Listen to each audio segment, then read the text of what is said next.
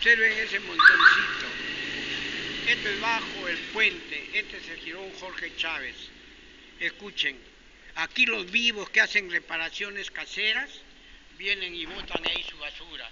La gente indolente viene, deja su basura casera y cuando se van a dar cuenta, todo eso va a ser un montón de desperdicios y a las finales, como tarde el contenedor en botarlo, esto se pone completamente contaminado. Miren, esta zona, esta es la basura también que dejan acá. Esto ya se ha puesto una parte que no se puede transitar, miren. No sé si hablan que la basura debe de ser determinada eh, a determinada hora sacarse. ¿De quién es esta basura?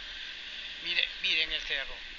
Esto hay que poner, ahí hay fruterías, hay gente que lo hace. Entonces, ¿dónde están los municipales? ¿Dónde está la acción municipal?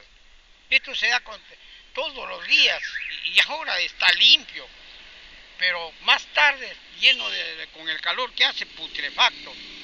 Así, vamos pues, la limpieza municipal, ¿qué, qué medidas correctivas hace?